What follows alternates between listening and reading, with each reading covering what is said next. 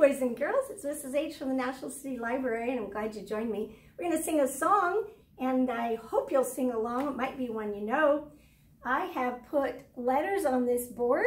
They are B-I-N-G-O, and you know what that spells? Bingo! This is about a dog named Bingo.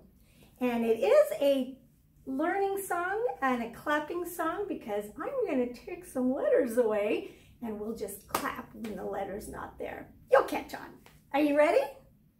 There was a farmer had a dog. Bingo was his name. Oh, B-I-N-G-O, B-I-N-G-O, B-I-N-G-O, and Bingo was his name. Oh, now get ready, because now I'm going to take the B away. We'll just clap there.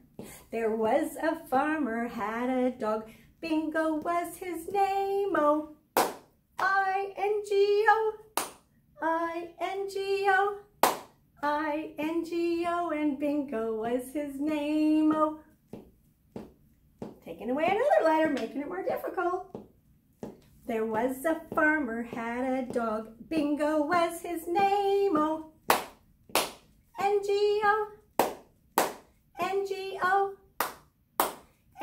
N-G-O, and Bingo was his name. Oh, you catching on?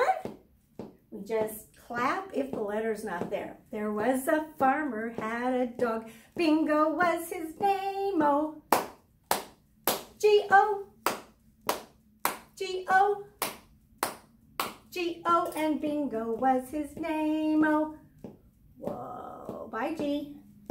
Ready? There was a farmer, had a dog, and Bingo was his name. Oh, whoops, I gotta do the O. B, okay, wait. we'll start that one over.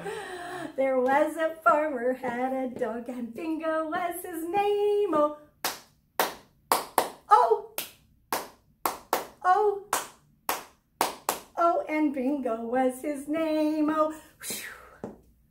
Now, it's just straight clapping. There was a farmer, had a dog, and Bingo was his name. Oh.